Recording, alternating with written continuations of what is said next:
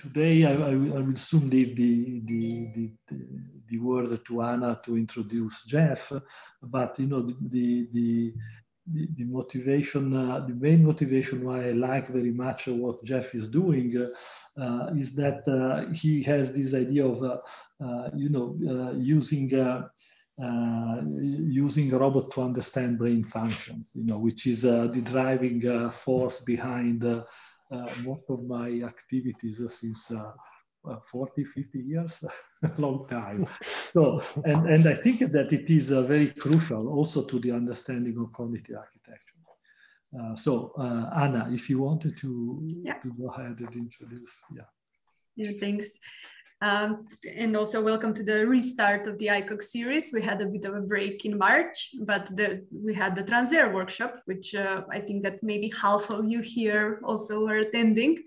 So that's also where I had the, the, pleasure of meeting Professor Krichmar, who is our presenter today. Professor Jeffrey Krichmar is a professor of the departments of cognitive sciences and computer sciences at the University of California. Uh, he is a senior member at IEEE and at the Society of Neuroscience. He is the author of over 100 publications and holds seven patents and uh, his career is a very very prolific one both in industry and in academia in industry where he's had a 15 years experience in software engineering if i understood well for companies also like ibm and uh, raytheon whereas his academic career is now counting nearly 20 years of experience in designing adaptive algorithms in creating neurobiologically plausible network simulations which is a mouthful and the really tired of not garbling my speech over it, and as well as constructing brain-based robots, which is precisely the topic of um, his talk today. So robots whose behavior is guided by neurobiologically inspired models. So with that, I will definitely spotlight Jeffrey here, and I would like to welcome you to the talk, Neurorobotics Connecting the Brain, Body, and Environment.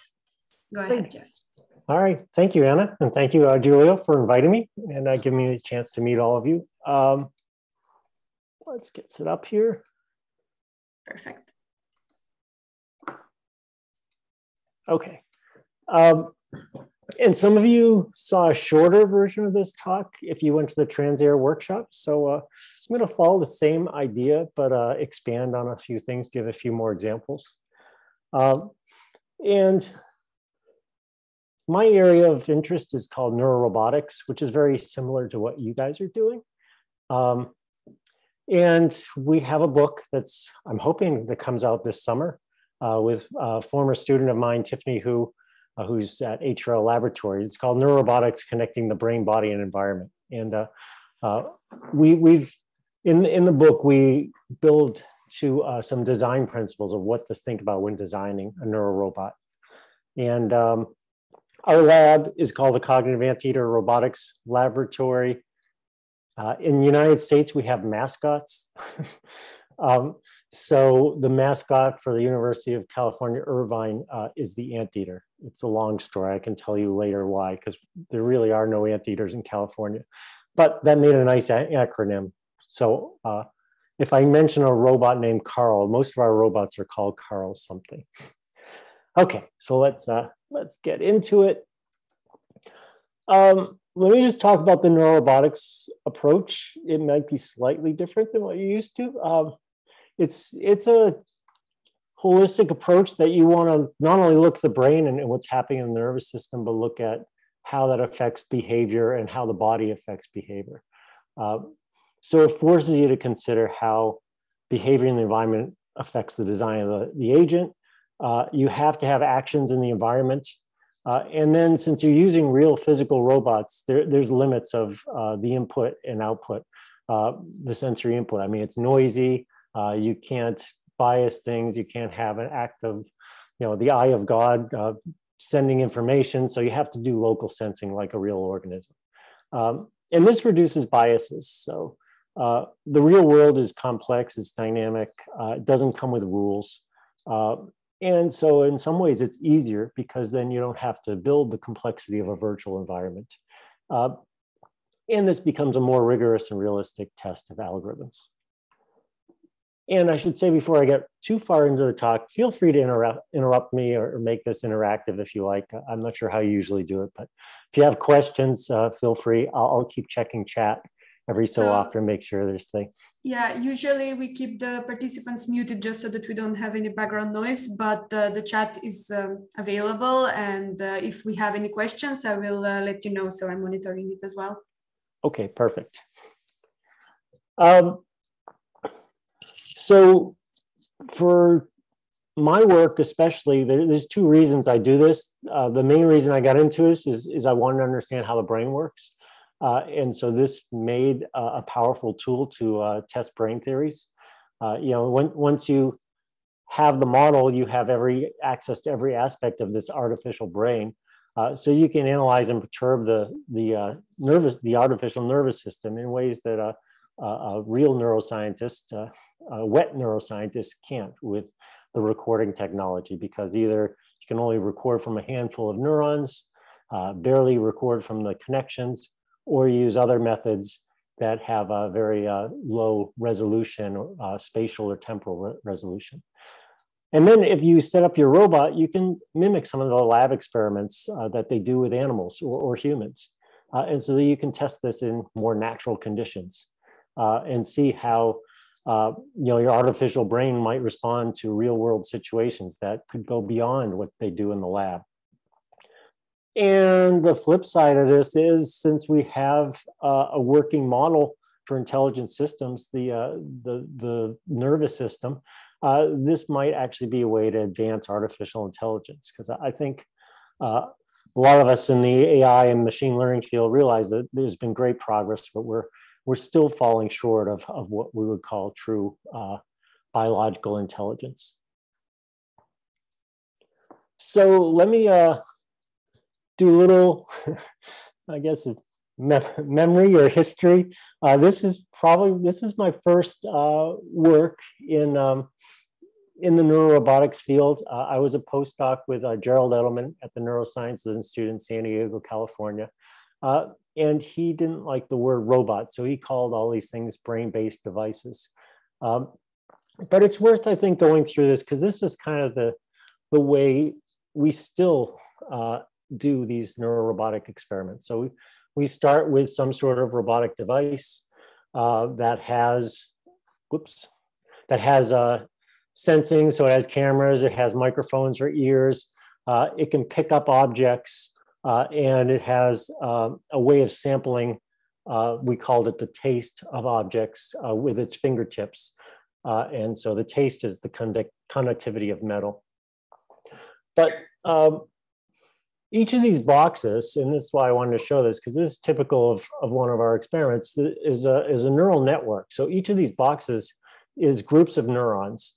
And each of these uh, arrows are projections, connections between neurons, and they represent probability distributions. So um, what you have is, is you know, thousands of neurons and, and many thousands of synaptic connections, many of them plastic. And we try and follow, unlike, uh, unlike you know, deep, learn, deep neural networks, uh, we try and follow the anatomy. So there's auditory streams, there's visual streams, the information gets into different feature detectors for short segments. Uh, and the receptive fields expand to the point where an area like this, which is mimicked after temporal cortex, uh, can see the whole scene and starts to do object recognition. And then there's typically in, in our models, there's some sort of value system that, uh, that has this neuromodulatory effect. So when something is salient in the environment, it it modulates the learning and increases the learning. So just give you an idea of what one of these looked like. Here's the robot. Uh, early on, when it's just learning, it just runs around, picks up blocks.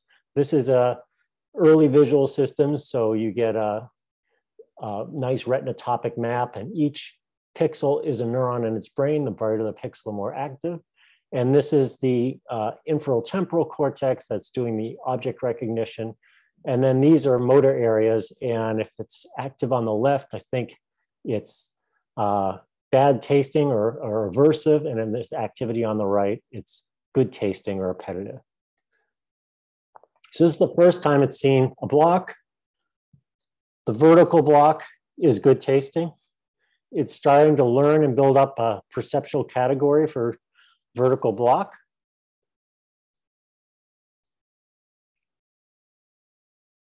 And this is the first time it sees the spotted block. Spotted block is bad tasting because it's weakly conductive. So it's trying, it should remember that after so many pairings to uh, avoid the avoid the bad block and go to the good block. And this is after about, you know, 10 pairings, similar to what would happen in operant conditioning.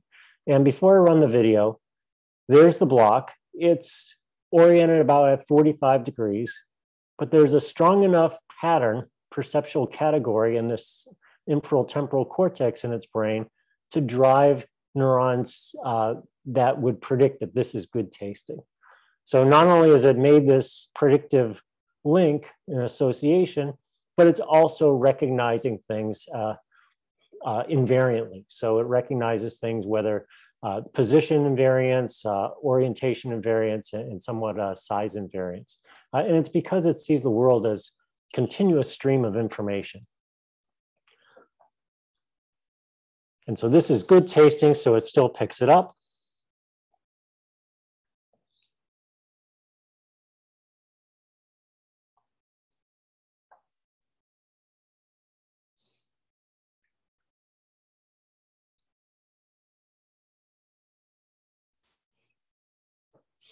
And this is the bad tasting block where it still looks at it, but it won't pick it up because it's now associated with something that's aversive and it backs away. So anyway, besides the nice trip down memory lane for me, uh, it's a, uh, it demonstrates, you know, a typical neurorobotics experiment where we design uh, a neural network based on what we know uh, at the time uh, of what's going on in the brain. Uh, we design an experiment that fits similar to, so we can compare it to animal experiments, in this case, conditioning.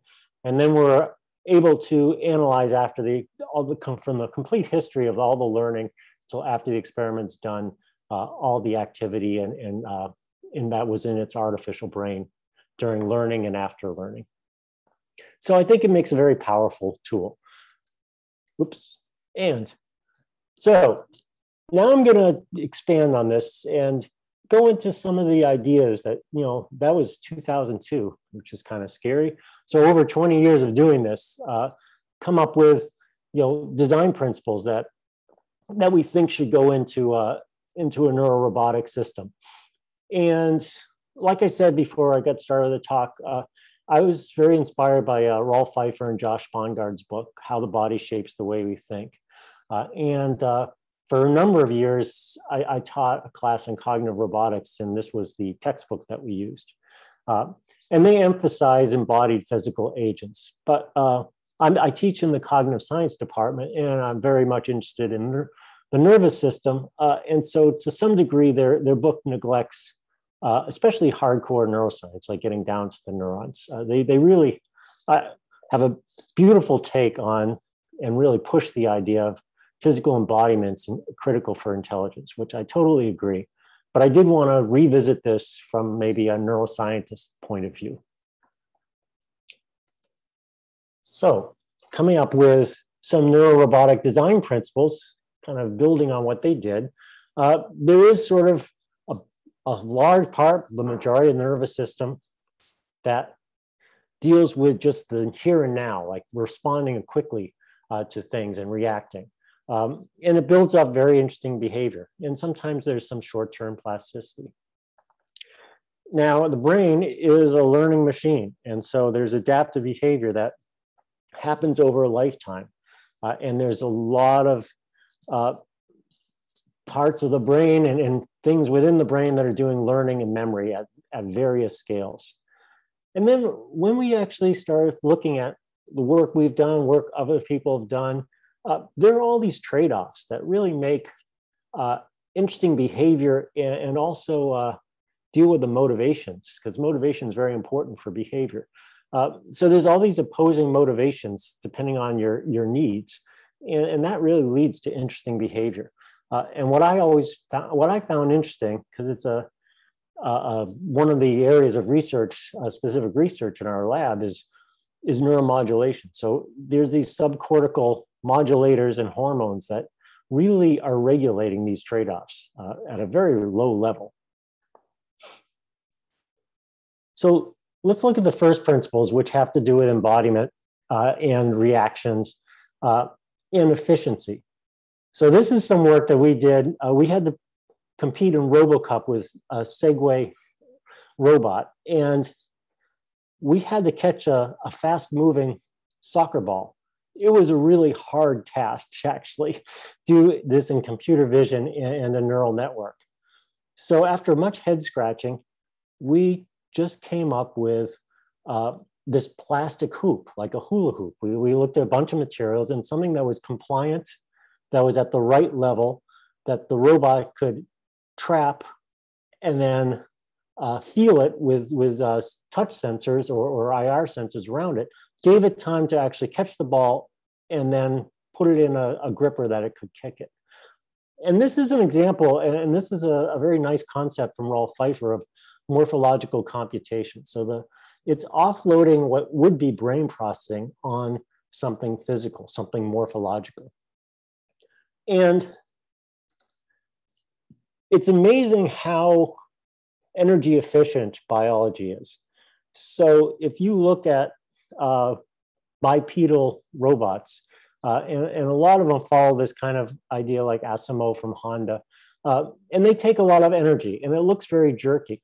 Uh, if you actually look at the human body, it's also doing this idea of morphological computation. So it's pushing off and then letting gravity do the work of falling down. And, and your knees and joints are hinged so that your, your leg will naturally fall forward. So you don't have to think about it. You don't have to do brain processing. The body is actually doing that work. And lo and behold, it takes a lot less energy uh, to do that.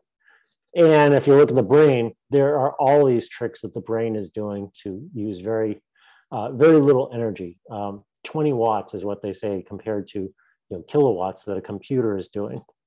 And what it does is it reduces redundancy.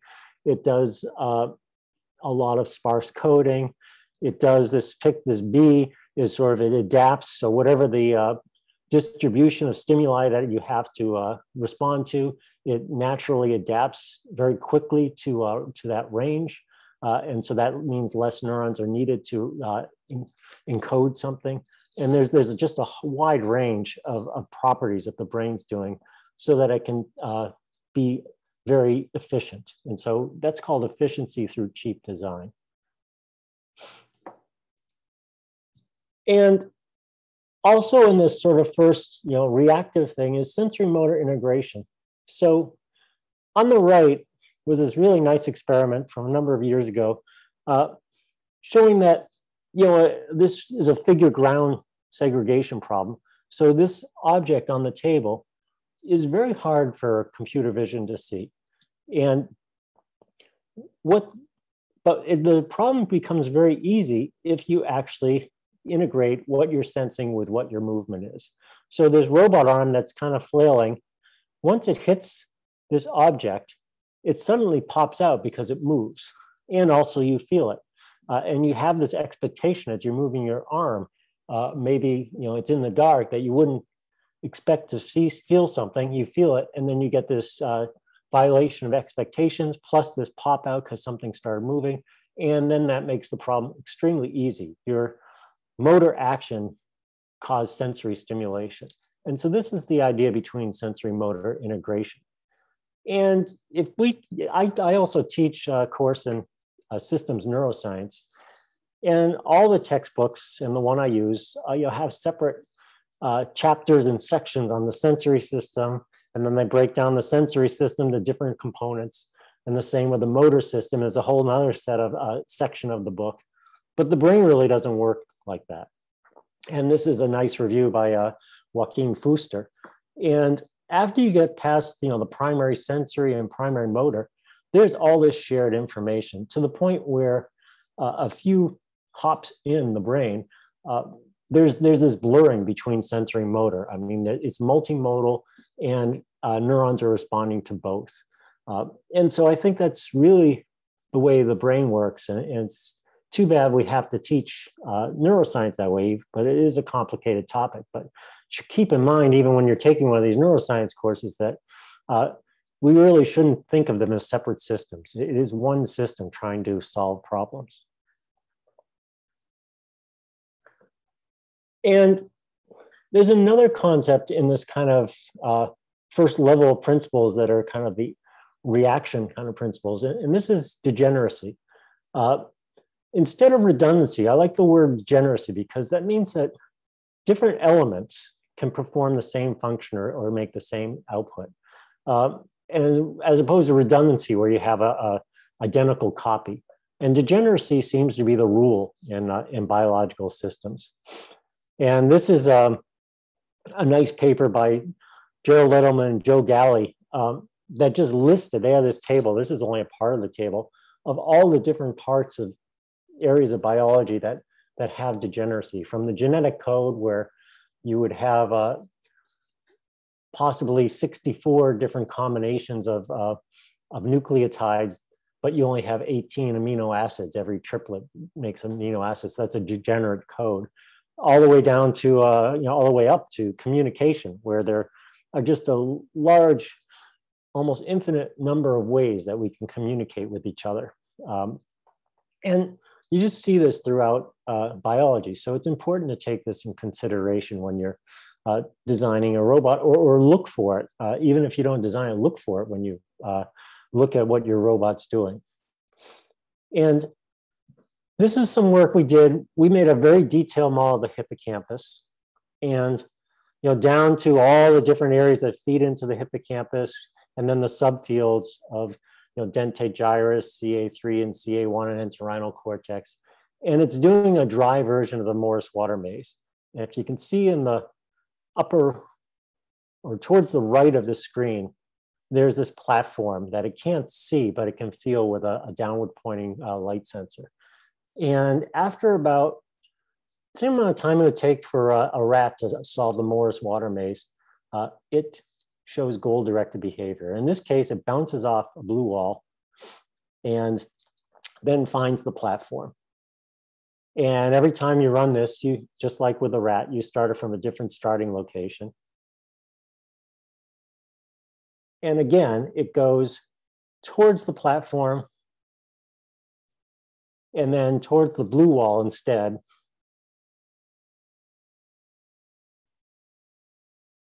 And this is an effective strategy. It gets right to the platform. And, and I say no two neuro, robots are alike because I've done these experiments over many years. And you run this multiple times. Maybe you slightly vary the probability, you know, the probability distribution of, of the of the artificial brain, but you don't even have to do that. There's enough noise and difference in the world that the no two experiences are like. And if you have plasticity, you get different um, different outcomes. That's degeneracy. And so in this case, we ran this nine different runs, uh, you know, complete trials. And some went to the blue wall, some went to the red wall, some went directly to the platform. So based on experience and what worked in the past, uh, it would build up its own uh, strategy. And you see this in the after after learning and testing. So one of the tests you do for this uh, task is you remove the platform and then you just see where it explores. And so one uh, robot subject spent about 50% of the time in the quadrant where it thought the platform would be and then gave up and then started searching around. Uh, another one was very perseverating and spent like 85% just searching and searching and searching here, uh, never giving up. Uh, so you see that at the behavioral level. And then we looked at the neural level and we looked at place cells in the CA1 of the this artificial brain. And so the, a place cell, if you don't know, is a, kind of like a, the brain's GPS system. It'll fire when the animal is in a particular location. So we saw place cells emerge in this model. And when our robot went through the same location uh, with the same heading, so the same direction through the same location, the same place cell fired, but all of the neurons that led to that firing changed every trial. So after you know one or two steps back, so this is kind of working back to these neurons cause this to fire, these neurons cause those neurons to fire, et cetera. After a few steps back, it was a totally different set of neurons firing that led to the same place cell firing. That's degeneracy at the neural level. And then um, very important for this kind of reactive system is something that, you know, you guys as computer programmers probably do is, is multi-threading, multitasking, and event-driven processing. Well, the brain is the ultimate, the nervous system, the ultimate uh, event-driven system. And um, we, we are multitaskers, so we do things in parallel and we get information, sensory information, we have to respond to that. So we have almost like this interrupt uh, to respond to it. And so uh, we should build this into our architectures. Uh, you know, this is an old idea for robot architectures, goes back to Rodney Brooks and subsumption architecture. And this nice uh, paper by uh, Tony Prescott's group looked at the subsumption architecture and looked at the uh, mechanisms of defense in the rodent and, and showed that you could have this layered subsumption architecture explain uh, the nervous system for, for uh, responding to defense, where uh, a noxious stimuli would cause a reflex, uh, sudden uh, stimuli off in the distance would cause the startle response. Things that are complex might go through and have context, might go through hippocampus or even frontal cortex and down here. Each of these sensory things are an event, and each of these are responses, the appropriate responses to the events. And so it's a nice way of actually thinking about how the brain is organized. And, and it has this kind of not only layered structure, but has this event driven kind of structure. It's not a sense, think, and act kind of serial structure.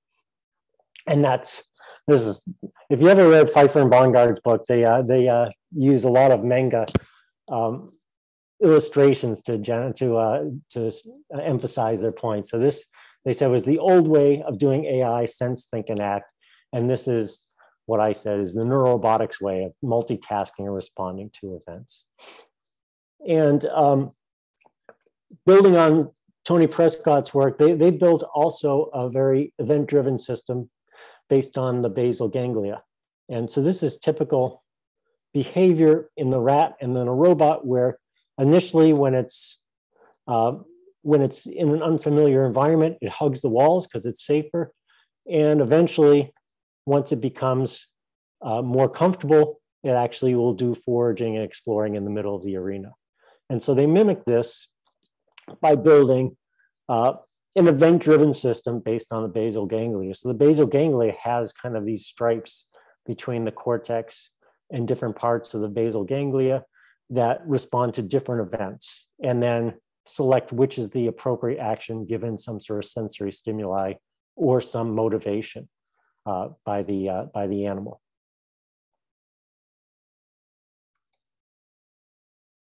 Okay, so let's go to the next sort of set of design principles. Building up from kind of the here and now and reaction, uh, how do we build things over, over a long period of time? And that leads to adaptive behavior.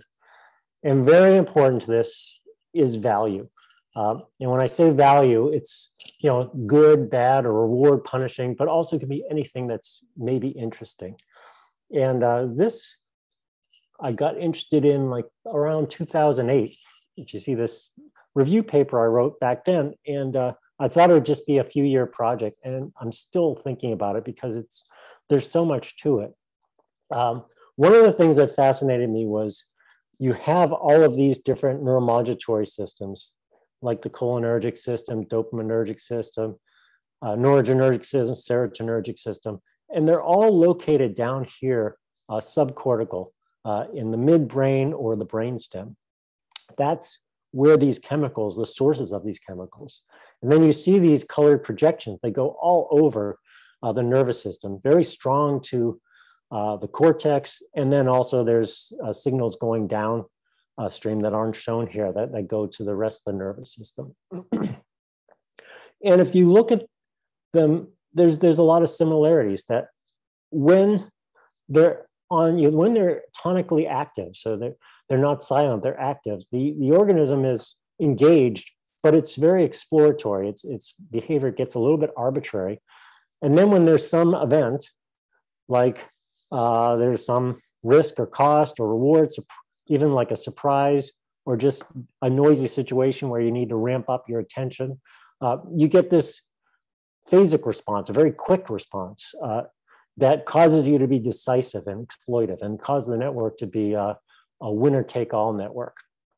And so um, you have this interesting exploration exploitation trade off that's, that's generated by these systems. And this is work we did to look at this. Um, this is the original Carl when we first got to Irvine. And these are, this is its brain.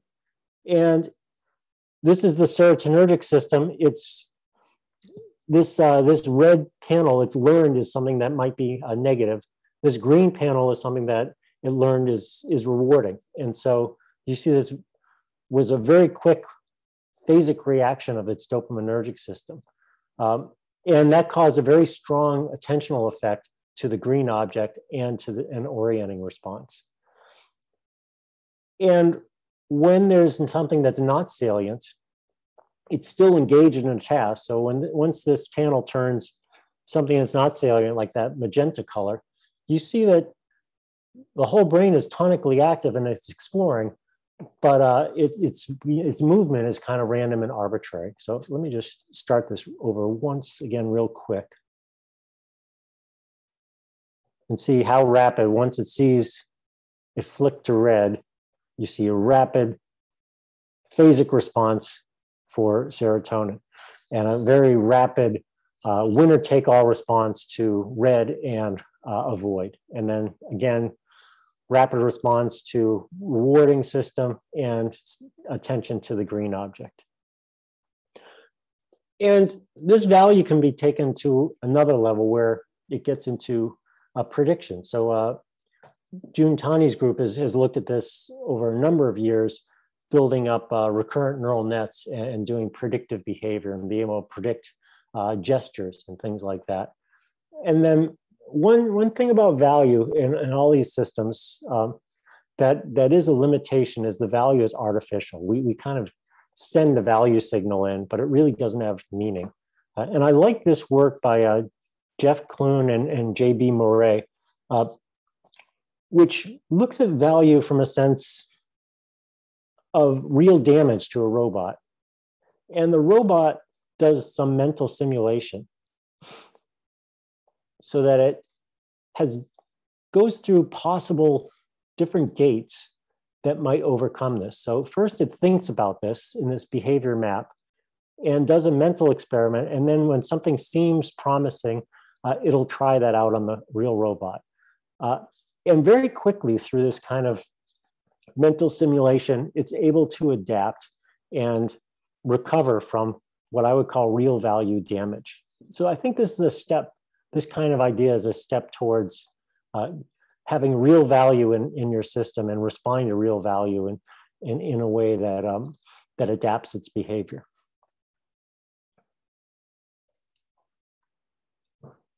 Okay, now that's still adapting on a short term. What about very long term? Uh, and there's an old idea that you have rapid learning in the hippocampus, and then you have over time consolidation of that learning it gets offloaded or consolidated in the in the neocortex and this is called the complementary learning systems and this was um, this was originally proposed by Jay McClelland uh, Bruce McNaughton and Randy O'Reilly, and still has a lot of evidence supporting it. But one piece of evidence that kind of challenged this was by uh, Richard Morris's group uh, and, uh, and George Say did a series of experiments where if, and I, I won't go through this experiment, but I'll kind of explain if you had, if you had a layout like this, which they called a schema, if you put something new in this, but it still fit within this context or schema, you didn't have to have this long consolidation to the, the cortex. It would very rapidly get into the cortex. Uh, and so that kind of challenged that complementary learning systems idea. that you could still have rapid consolidation of long-term memories if it fit within a context or a schema. And um, this was proposed also by uh, Van Kesteren and colleagues in a model called schema linked interactions between medial prefrontal and medial temporal regions, or SLIM. And the idea is if something is congruent, so you had this rubber duck that goes with the bathtub, and then you see a new duck, and that actually fits within the duck schema, then it very quickly gets consolidated in prefrontal cortex, and prefrontal cortex turns off the hippocampus during this time so that it doesn't have interference and this information can get pulled into uh, this existing schema. Um, but if you have this duck and you have a new situation that's incongruent, then you do need the hippocampus to actually uh, rapidly learn this association. And then over time, it'll get uh, consolidated in the, in the, uh, the cortex. So Tiffany Hwu uh, wanted to look at this idea and built a very detailed neural net of the prefrontal cortex and the different areas of the hippocampus and, uh, and uh, association cortex, and also had neuromodulators for familiar and novel, novel situations. And so the idea is you type in that uh, GUI, an object, in this case, uh, teddy bear, and it's looking for the teddy bear, but it's also learning about this room, this classroom, and everything that goes in that room and the layout. And it takes a while, finds a teddy bear, but it's also done a bunch of learning of that schema. And then a few trials later, it knows exactly where the teddy bear is. But then I can cue it, I, can put it in another uh, room. So now it has to learn a new schema. So it's trying to recover a cup. And so it realizes this is an incongruent system, uh, incongruent situation. So it builds a whole new schema uh, for this. And then it very quickly is able to find the cup after a while. It's still able to recover things from the original schema because now it's actually put these two different contexts in two different kind of uh, memories. And also if you create something new, like a banana, it knows that a banana should fit within the schema that goes with uh, the break room table where we usually put food in our lab. And so then it very quickly can pick up an object it's never seen, it's never had to pick up before. And this is just the, the results where the amount of time it takes to, over time, to retrieve objects um, goes down and the uh, correct picking up of objects um, increases, the, the performance increases, and then you can give it a new object that fits within that schema and it can very rapidly find it. And then you can put it into a new room and it has the same profile, put it back into the original schema. It has not forgotten that. It's over, it's, it's overcoming catastrophic forgetting. And if you cue it with something, that it hasn't had to pick up before, like a book. It knows that books fit within the context of a classroom, and this is where the most likely places you'd find a book. Or if you cue it with a food object like a banana, it knows that this is the most likely place that you would find food is on the table in a break room. So it very nicely solves a bunch of machine learning AI problems. It overcomes catastrophic forgetting. Uh, it shows in a in a sense, lifelong learning because uh, it's able to learn over a long time. Uh, and it's able to switch tasks depending on what the uh, context is. And so I think these ideas of how memory works in the brain actually can help uh, AI and machine learning. And then this robot uh, is from Toyota, the human support robot. So uh, we were actually tasked to use this robot to look at cognitive ideas that could help uh, support people. So context would be very important for a task and knowing what the appropriate thing to do given a context or a schema. Uh, and so if the robot's aware of this, then it can act appropriately. All right, last set of principles gets to the behavioral trade-offs. So, you know, life is full of compromises and, and contradictions. Uh, and our changing needs and motivations uh, might tip the balance of which way we have to do these trade-offs. Uh, and if you implement them, you actually get really interesting behavior. Uh, if you actually set up the situation, even the environment that would cause a trade-off, you get interesting behavior. And uh, the Oscars were last night, so conflict always makes a good story. I think every movie that's one that's been up for an Oscar had some sort of conflict. So what are these conflicts? Well, the you know an easy one is reward versus punishment. Uh, more complex ones are the uncertainty in the world. You have expectations of how much noise there is in the world, but then you get surprises. There's exploration sometimes versus exploitation, which we talked about. Uh, there's just do I go and forage food or do I have to defend myself or defend my, my home? Uh, that's an important trade-off. Um, also, you know, do I do I actually get social, you know, do social engagement, or do I do things, on, uh, you know, on my own? And there's the reasons to do both, and uh, and then also, you know, how, uh, you know, if, if there's a situation, sometimes it's actually useful to actually increase my stress level so I can deal with that situation rapidly. And what I find really interesting is the chemicals in our brain that regulate these trade-offs are subcortical, uh, very low level, some of these we've talked about are neuromodulators. Some of these are hormones like orexin or oxytocin. Uh, some of these are, are, stress hormones like glucocorticoids. Uh, so, you know, a lot of the things we take for cognitive behavior are really happening at a very low level in the brain. And let's just look at a, a few of these. So um, you have reward versus punishment, but you also have within the same system invigorated versus withdrawn. So what do I mean by that? Well, if you look at the dopaminergic and serotonergic system, so uh, 5-HT is the chemical name for serotonin.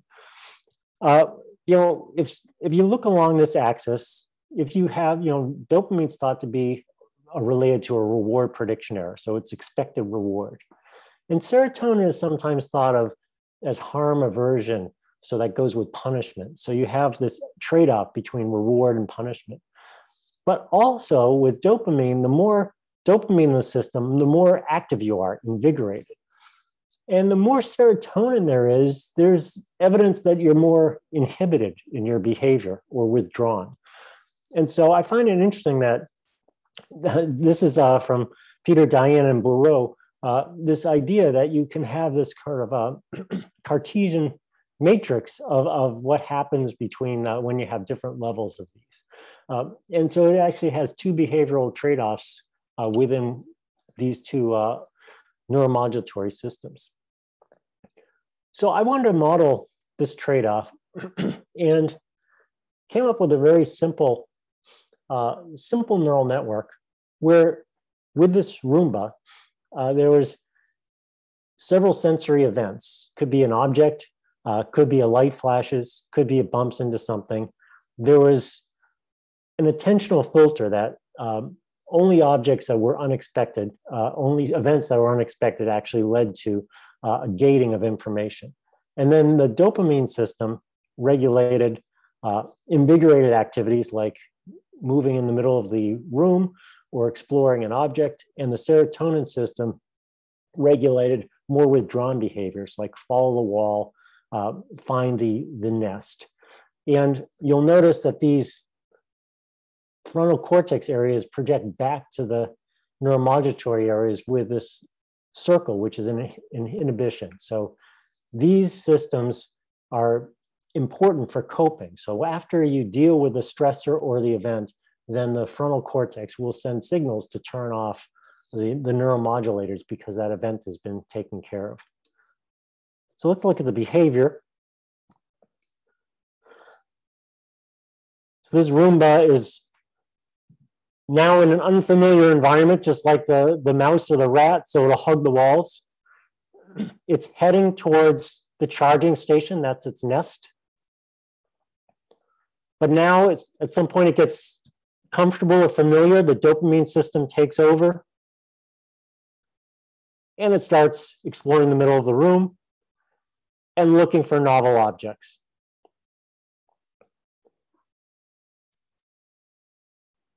and so very briefly, this is the um, this is the neural activity, just a trace of, of one trial. So it's 120, uh, it's actually 240 seconds or, or uh, four minutes long. And these are the different uh, actions it's taking. It starts out you know, in an unfamiliar environment, so it's sticking to the walls or trying to find its nest. And then at some point, uh, the dopamine system becomes active and it starts exploring objects. But right here in the very middle of the trial, uh, the, the trial goes on in the complete darkness. We flash the lights on, and so you get this light event. And then you see a very uh, a strong phasic response of serotonin, which causes it to uh, be anxious and withdrawn, and then it goes back to finding the nest. So eventually, after a period of time, the dopamine system gets a little bit uh, higher, the serotonin system is calmed down, uh, and then it starts exploring again. All right, that's typical behavior. And this is typical behavior of a, a whole bunch of runs right after the light flash. So the light flashes at time zero, and you see anxious behavior, wall following, uh, going to the charging station. And then about a minute into after the light flash, then you see curious behavior which starts exploring the middle of the room. That's typical.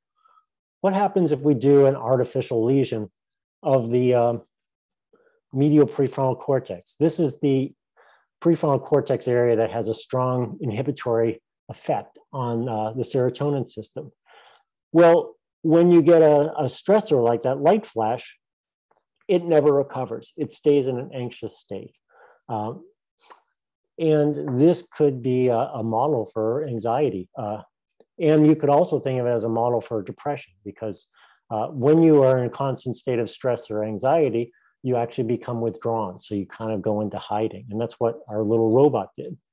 Uh, if we lesion the orbital frontal cortex, which has a strong influence on the dopaminergic system, uh, then there's too much dopamine in the system and it's overactive. It's almost like it, the robot's on cocaine and it has an obsessive compulsive disorder. So it doesn't have uh, it, it takes risks that are that are unnecessary and is always curious and always exploring. So it shows really nicely these trade-offs. And kind of bring a lot of this home. Let's just look at this one last experiment um, and, and, look at all the design principles and see which design principles it followed and which ones it didn't. So starting with the action reaction design principles. Um, so this was an embodied system. It was on a physical robot. We didn't do too much morphological computation with it, but we used the uh, the Roomba uh, from iRobot, and the Roomba shape is is a nice uh, example of morphological comp uh, computation. Uh, you know the the Roomba shape that's circular works very well with walls and corners and never gets stuck. One of the reasons why it was so popular as a commercial uh, vacuum cleaner uh, we didn't put in our model any efficiency and cheap design, but I think the Roomba itself is a nice example of, of cheap design. It's a very simple design and clean, and that leads to uh, making the movement of it much easier. Uh, sensory motor integration, there was a nice close coupling of the sensory information. There was a, a LiDAR on the robot. Uh, um, there was a bump sensor, uh, light level uh, that was closely tied to motor activity. This is a very much an event-driven system. Um, and it was degenerate. So different events led to the same anxious or curious behavior. And also uh, there was this flip for the degeneracy. Uh, the same event led to different behavior. So a bump, if it was anxious, a bump would be, oh, that's something I got I got to hide from. Or if it was more curious, a bump would be something like, oh, that's something I got to investigate. So it's degeneracy in a different direction. It was certainly multitask and event driven. I had multiple actions. Events drove uh, the neuromodulatory levels in the system and that biased the behavior. And it wasn't a very, it really didn't deal too much with long-term memory, but it did have short-term plasticity. Uh, the the uh, cholinergic noradrenergic system showed habituation. So if it got a bump the first time, it had a very strong response, and then short-term plasticity habituated to that. So then the subsequent bumps didn't have as, as much a response. And we had sensitization, so short-term plasticity in the serotonergic and dopaminergic system. So every time it got another signal from uh, that system, it would actually build on that and facilitate. But there was no long-term memory in there. There certainly was value. Uh, the sensory stimuli was very closely tied to value, which uh, was tied to its curious or anxious behavior and was tied to this neuromodulatory system. But it didn't address sort of more a predictive system. It was much more of a reactive system. And then trade-offs, uh, it was really designed to explore some trade-offs. So uh, it didn't look at reward versus punishment, but it did directly look at uh, invigorated versus withdrawn trade-offs.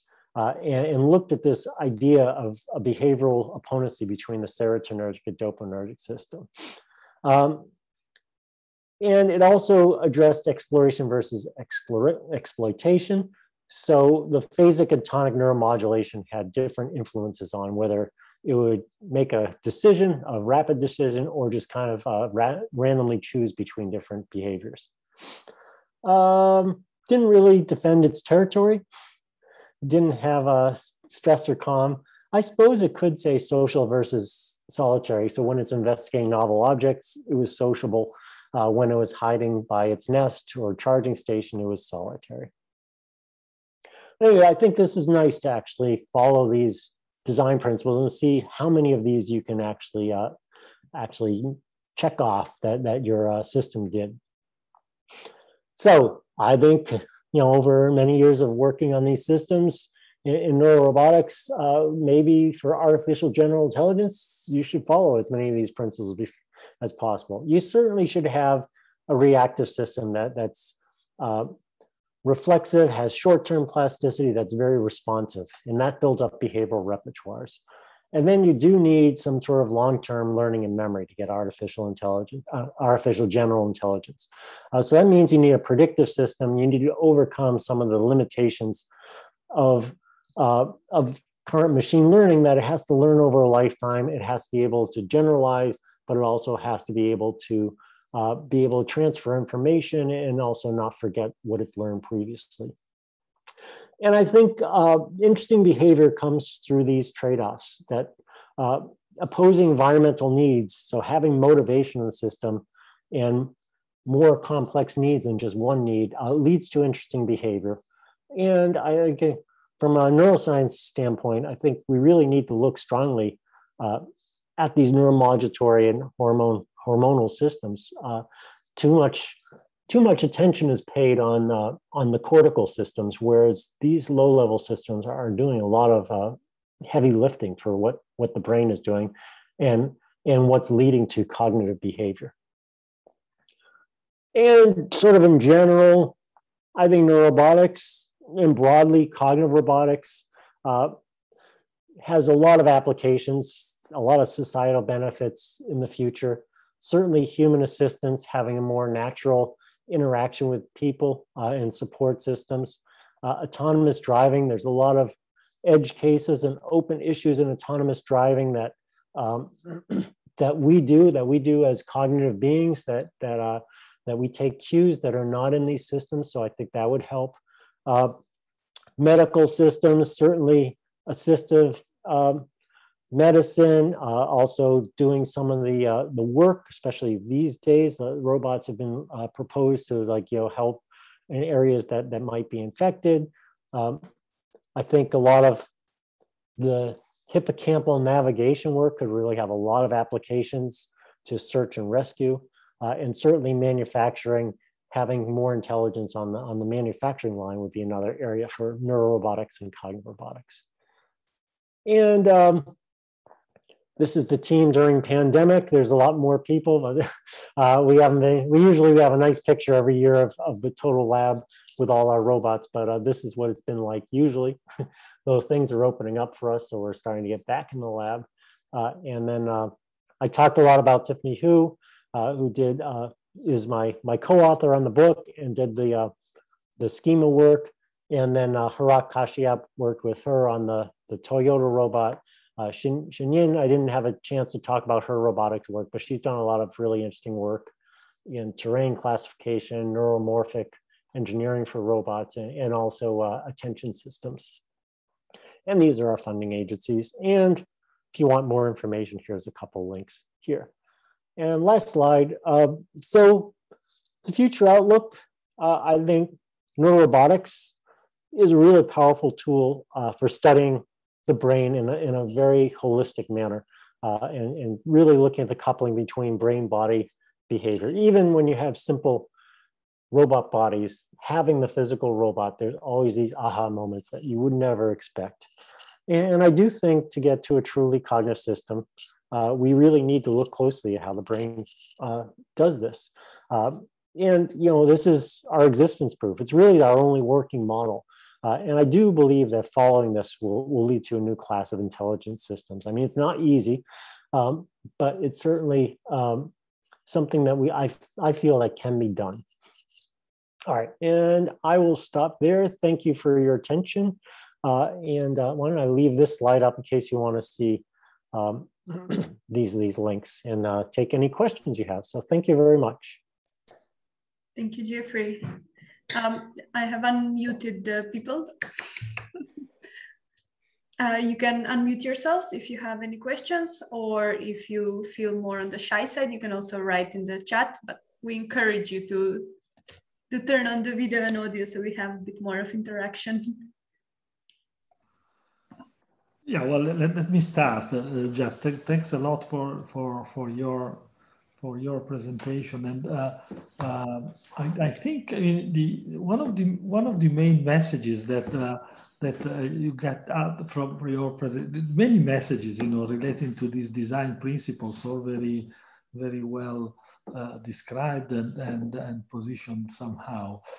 Uh, but the the the thing that strikes most out of, of the of the of the presentation, to at least to me, is is this uh, you know discussion in parallel of you know the brain uh, as a computer and the brain as a gland you know the kind of uh, of uh, of uh, chemical you know and, and hormones processing that is part of the pro of of of of, of, of you know of cognition of, of how the brain is an important and essential maybe even more important than than the kind of computation. So uh, uh, I wonder, uh, you know, how, uh, what, what do you mean? What do you think about the, the cognitive system? Do you, do you think we need to explicitly model also uh, the, the, the brain as a, as, as a gland in order to achieve some kind of, uh, you know, uh, cognitive abilities? Uh, or, or, or not, you know, because I mean, uh, the, mainly the robotics community is, is more or less looking at, uh, you know, neurons and uh, neural networks and so on and so hmm. forth. Mm. And a lot less effort is devoted to, uh, you know, this kind of, of processing, which is also an important part. Uh, so yeah. I, I, wonder, you know, if you can comment a little bit more about the relevance in general, you know, of these. Yeah, well, I was always drilled by my postdoc advisor not to call the brain a computer. I mean, there's obviously some computation going on, but um, you don't have to. When you say gland, I, I guess you don't have to go down to all levels or even have it be made of biological materials. There's certain principles that you can extract from how the brain does processing. And one that I realized was being ignored a number of years ago was, was these modulatory systems. And then uh, I also talked a, a bunch to uh, Lola Canamero, who was looking at hormonal systems. And she, even more than, than I do, abstracts them. But you get really interesting naturalistic behavior by, by using principles of these. So it used to be when I started this, like I said, I'm going to have to put all the complexity I can possibly think of um, to look at how the brain is, is doing this, you know, computation. Uh, but now uh, I, have realized, you know, there's certain principles you don't have to have down to like you know, the actual channel level, like what's going on in, in, a neuron. You can actually extract what's a neuron doing. Uh, but I think critically important is the anatomy. So um, the brain does not have this kind of layered anatomy, or the brain doesn't have a, a, a simple recurrent structure. Um, and that I think is very important to the function. The functional neuroanatomy, I, I still feel is very important because that's uh, the, the pathways and the interactions are, are, very important. Also, the idea that the brain as a small world network is an important principle. So, no two neurons in a brain are, are very many synapses away from each other. Uh, and that's really important. There are certain brain areas that are hubs. That's another important principle that I think uh, that we should take into consideration. And then these hubs are modulated by lower level processes. So that's another important principle. So I think you can extract principles like that and, and get uh, get towards brain processing. And you are seeing that now a little bit in the deep learning community. They they're a big area of deep learning now is neuromodulation. So they're doing selective plasticity with ideas from uh, neuromodulation in the nervous system. Okay, thanks. Thank you. This was. Uh... I have a, a follow up to this if, since I don't see anyone uh, with raised hands yet. Uh, so I'm very happy that you mentioned also the work of, uh, of Lola because we have done, um, so I've done some work based on the research by her and Antoine Hiolle. Uh, so mm. the work on essentially socially inspired neuromodulation. And I wanted to ask you a bit more about that because going through uh, Pfeifer and Bongard's work, the, the only, and I mean this literally, whenever you look for the word interaction in their work, it's always about agent environment. So they definitely bring up the very strong point of embodiment and how important it is for an agent to be embodied and have the interaction with the environment, but not so much about the agent-agent interaction. So yeah. my, I, I was curious to, to hear you comment about what do you feel the place of social interaction and social learning have or should have in the design principles? Yeah, I mean, I think social learning, social interaction is really important, especially application wise. Uh, that's sort of where you're going to see uh, this new wave of robotics and especially cognitive and neurorobotics can have a big impact. Um, in Lola's work with hormones uh, got me to, and looking at uh, systems like oxytocin. Um, which causes pair bonding. And so she kind of took that and, and had this caretaker bond. And and uh, and I, it's not the Hiolle work, but there's some really nice work where it's a really cute little robot, and, and if it has nice nurturing, the robot becomes friendly. If it's, it's actually treated at a young age poorly, uh, the robot is just always scared and has this anxious. Uh, and it was a really nice demonstration in a simple way, like having these hormone levels. Um, and the oxytocin story is is really interesting because it's kind of a drug that's maybe an over overemphasized, but you know, as far as social trust uh, and um, and that kind of bond, not just uh, um, you know maternal bonding, but uh, being able to do that between agents, whether it's two robot agents or a human uh, with a robot caretaker or a caretaker with for a robot, I think is very important. Um, and in having this trade-off, so sometimes you want, you don't want to be like social, you actually want to get something done on your own. So that's why I kind of bring it up as a trade-off that there's sometimes uh, cases where you you actually don't want to be sociable. Uh, but I think having that bonding will uh, facilitate more natural interaction. And especially, I think, in kind of the, the robot support systems or cognitive assistance, that's going to be critically important.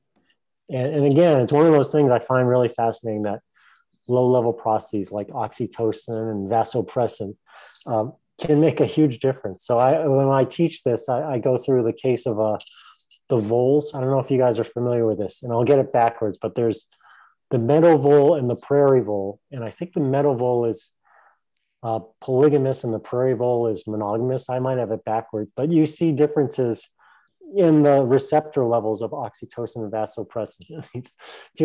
Two related animals, but different species. And you can actually turn the polygamous one into a monogamous one by doing genetic engineering of, uh, you know, of the uh, of these receptors, which fascinates me. Like you can change its overall behavior of how it uh, how it bonds with with uh, both uh, its mate and also its children uh, by by just changing the level of this of these hormones. It's just amazing to me.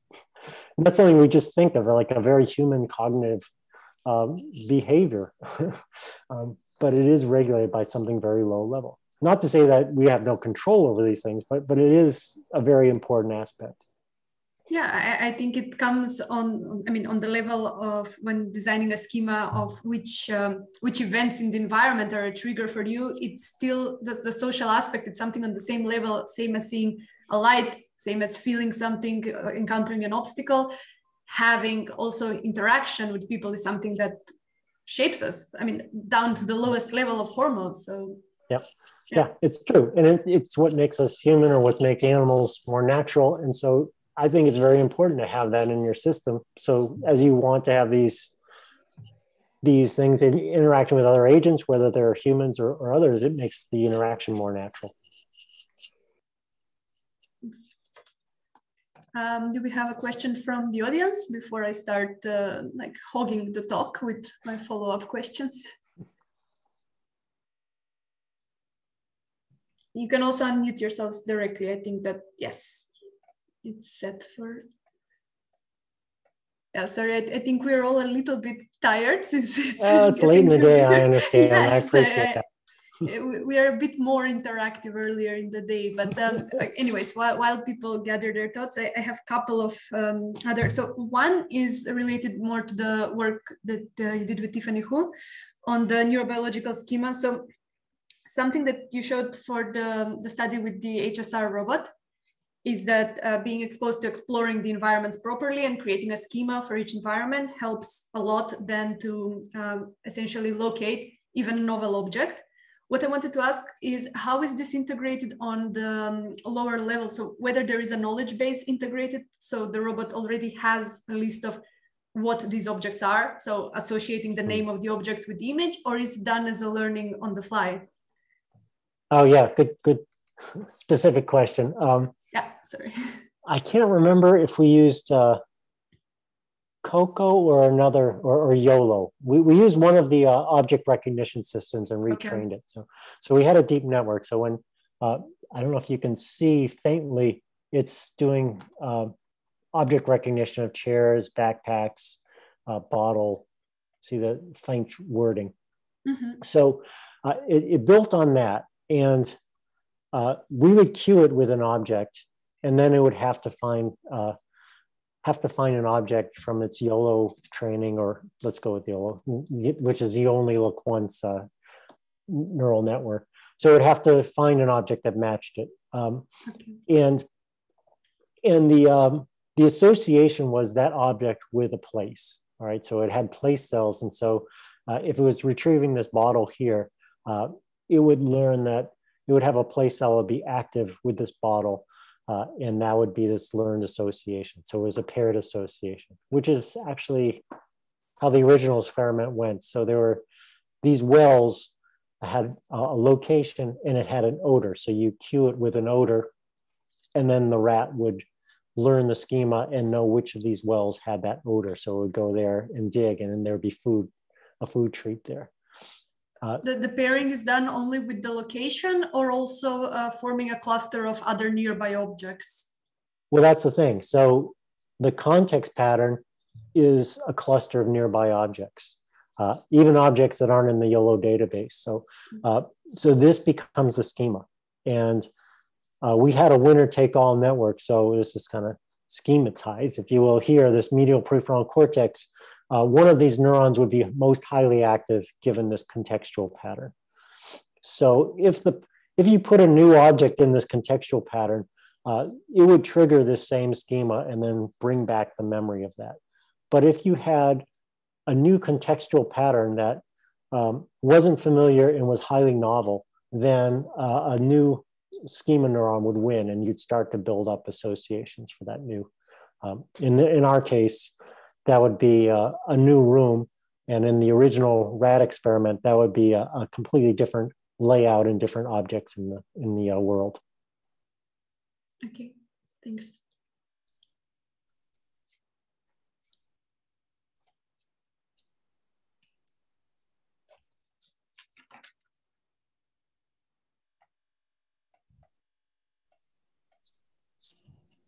Okay, there's David. Yes. Hi, Jeff. How you doing? Hey, David. Um, nice to see you. Um, Thanks, thanks for a great talk. Really enjoyed it. Um, I, would like to put something to you. Um, I, am a big fan of um, the extended view of cognitive architectures, including both the endocrine system as well as the the, um, the cortical system, um, um, for for many different reasons, um, and in particular, um, the idea that embodiment is crucial. So you need the whole thing together. The problem is um, that a lot of people say that's that's great in principle, but um, how are you going to get your cognitive robot to make a cup of coffee? Um, and and the issue seems to be that there's still quite a long way to go before we can bootstrap these compelling arguments into a system which can pursue um, knowledge, uh, rational um, inference about the world around it, and pursue purposive uh, goals in the sense that we would like our cognitive robots to do. I think it'll happen. I'm just concerned that it's going to take a while. And I wonder if you had some um, thoughts on that. Yeah, I, I agree. It'll happen and will take a while. um, and, and, you know, when I started this, I, I was, you know, many years ago, I, I, I refused to take, um, I don't want to call them shortcuts, but abstractions of principles. So we, we tried to be as low level as possible. Uh, and now I realize sort of um, maybe because it's taking a while that that uh, there, there's a nice middle ground. So uh, you can build up certain behavioral repertoires, and you can have them. We always did have like um, different behaviors, or we call them innate uh, reflexes that that your system could do. So if you look at Tiffany's work. Um, one was one was the object recognition. So we harnessed what we you know what some of the great classification work that's been done in deep neural nets. And another was the whole picking up objects. Uh, we, we skirted the whole sensory motor issue of doing that and, and had, you know, used something from robotics of how to actually, with your arm, locate where the object is, pick it up and put it down. So, so we did take, you know, sh- shortcuts there. Um, the long-term reasoning is a, is an open issue. Uh, I, I, look at predictive systems, and, and there's a lot of work there, but that's that's still like you said, it's not going to quite get you there. We have a long way to go.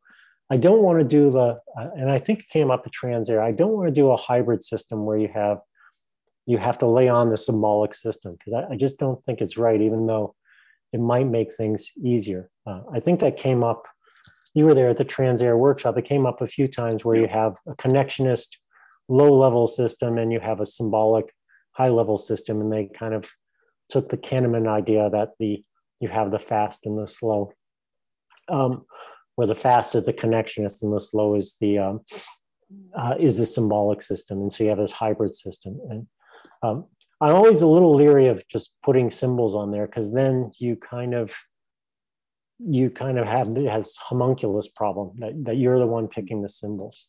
It'd be really nice for the system to learn the symbols as it needs it. Um, so I don't have a, a, ready answer. I mean, it's going to take a while. I the other thing is, you know, I'm I'm basically a neuroscientist, so I'm really my main motivation is trying to understand how the brain works. So, uh, or one of my main motivations. I'm also a practical person, so so I really want to know how the brain builds up these I mean, obviously, we use some sort of uh, categorization and build up symbols, especially with language. So, how do we do that? Um, is something that I'm, I'm very interested uh, in the long term. As far as getting a practical system that can do all those things, like you said, it's going to take a while.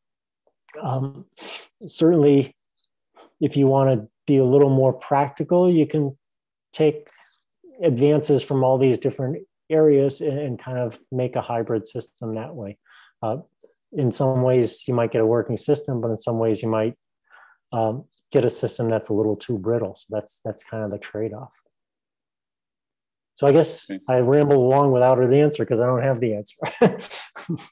yeah. Yeah. So, so can I follow up, um, Anna? Sure. Sure. Um, so clearly, um, that view of symbolic reasoning is something that that uh, well, I say clearly, uh, one could conjecture that that's an emergent property um, of the type of neuromorphic system that you're talking about, and not something that is pasted on on top when you get this engineering oriented hybrid, but rather that, that, that symbolic um, approach is something that emerges out of it, the dynamics um, within your, your system. Um, and I wonder though if, if, if neuroscience can't still um, provide an interesting answer. I reread Tolman's 1948 paper recently, and I didn't read what I expected to read there at all. I mean, his concept of a cognitive map is far, far more general than I mm. than I expected. And I was only put onto it by reading Behrens' work um, on, on working memory. And, and it seems that, that he was suggesting a long time ago that, that there are principles at play whereby you can abstract generalities um, from the sensory motor contingencies. And then you can layer a hierarchical model that way without injecting anything from outside onto it. Um, and I, I, was wondering if you had any thoughts on, on, on, on that work, specifically in the, the work of Behrens' commentary on Tolman's work. Yeah, I've been um, I've been revisiting Tolman. We have a we actually have a project um, on cognitive maps itself, and we are looking at it from a navigation standpoint. But um, it's it goes much beyond that. So it's navigation is kind of a a nice test of the idea because it's really a mental map. Um, and what strikes me by the Tolman work and what's coming out of the labs that are doing rodent navigation is this um, neural correlate or brain signature of planning. You see it in hippocampal place cells and then also the frontal areas that it's interacting where um, you see kind of planning through different outcomes, but then you also see a different pattern with what Tolman called vicarious trial and error. So when you're at an indecision point, you see brilliantly now you see in the neural um, in the neural code you see this do I go left? Do I go right? Uh, and I think if you extrapolate that from navigation, just how we solve problems, uh, I think you have a general um, general planning compute, you know, planning system, right? That can do multi-step planning. And, and I find that really interesting. And, and uh, there's a few other aspects of Tolman that, that demonstrate this and, and have a, you know, a hypothesis building was another idea that people don't talk about as much when they talk about Tolman, but that was in his original papers. Um, so it's pretty amazing. Um, it still doesn't get to kind of the symbolic part, but it does get to maybe a reasoning system, right? If you, um, and I suppose you could think of place cells as almost like a symbol, right? Because a place cell has a very strong signal of, of this location. And, the, and when you see these replays or preplays, you're seeing sequences of potential locations or a potential path.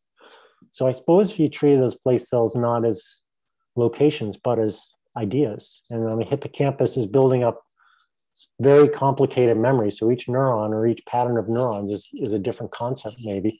You maybe be able to work through concepts. So that's why I'm fascinated by the Tolman work and why we did the cognitive map thing. I mean, they funded it because they want better uh, navigation systems, but you know, I'm thinking of it as, as a better, um, just general uh, planning system. That's funny you read it Thank too. You. I mean, I, I, went back in the last two or three years and read the original 48, 1948 yeah. papers. Like, wow. yeah, yeah, he's one of my scientific like heroes. Yeah.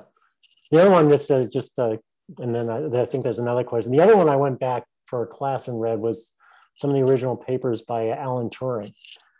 And there is some stuff in there that I didn't realize he was predicting, like the whole reinforcement machine learning field. He predicted the whole, you know, the the uh, the whole developmental robotics field. I mean, he he basically laid out. I mean, besides the imitation game and a whole bunch, there's there's this one paper I think in 1950 or something that just is amazing. Like all of AI and machine learning kind of comes out of that paper. yeah, true, true, yeah. So th- those years, I think I think people should should go back read. I mean, you know, yeah, should go back reading some of these articles. Yeah. If you want to, I mean, there's at least in the um, in the case of the cognitive maps, there's a lot of recent papers. Uh, there's been a lot of work because of the uh, of the rodent community that are looking at from a navigation, but it's exciting now because there's the techniques they're using, they're, they're finding neural correlates of what Tolman predicted. Um, and that's, uh, so there's been a lot of activity in this, this area in the neuroscience community. Yeah, yeah, no, no, it is important because now we know more. So you go back and and, and reread the theories, you find uh, something interesting there. Yeah, yeah, true. yeah. Yes. Okay. Yeah. So, I mean, if there are no other questions, I think uh, we can thanks thank Jeff uh, once more for this interesting, and we will stay in touch. We will include yeah. in the mailing in the mailing list. Yeah. Usually, our you know meeting time is a little bit early for you, but uh, uh, we we we can try.